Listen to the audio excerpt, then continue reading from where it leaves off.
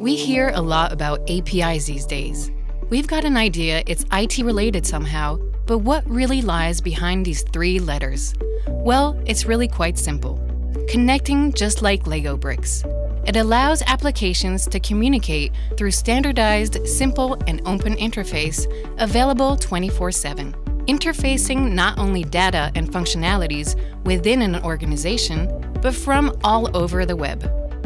Top companies in the world nowadays are all API first minded. It is at the core of their business model to expose data and functionalities so they can be used by third party applications.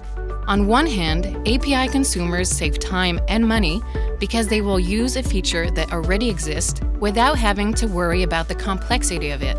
And on the other hand, API producers gain new partnerships and get to monetize assets that they are already using themselves anyway. As an example, let's say you want to expose some locations on your parcel delivery website. To do so, you can either create the whole mapping system from scratch, which will take a lot of time, or you can use an API from Michelin Travel Partner to integrate this feature that has already been developed for the ViaMichelin website. On the roadmap of our IT modernization program to achieve Michelin's ambition of being an API first company by 2022, we already have quite a few successes. Every day, making us an easier company to do business with. The UPX API for Michelin supply chain, for example, is used by Mercedes and Costco to retrieve Michelin stocks and to order tires. Thanks to the easiness of interacting with us, Michelin has been upgraded as a supplier for these customers. Tire Details, another of our APIs, exposes information about any tire so that marketing agencies can publish Michelin dynamic ads depending on what people really need.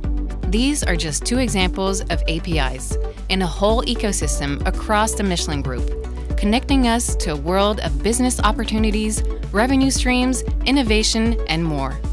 And it also works the other way around by reusing services developed by somebody else. We at Michelin also use third party APIs to extend our functionalities, launch new services, and reduce our time to market. As an example, to list all Michelin tires that can be mounted on a car, you could soon scan your car door label in one of our apps connecting to, let's say, a text recognition API from Google. Simple, fast, efficient. To sum up, the three letters API are really worth remembering, ending with the I of interface.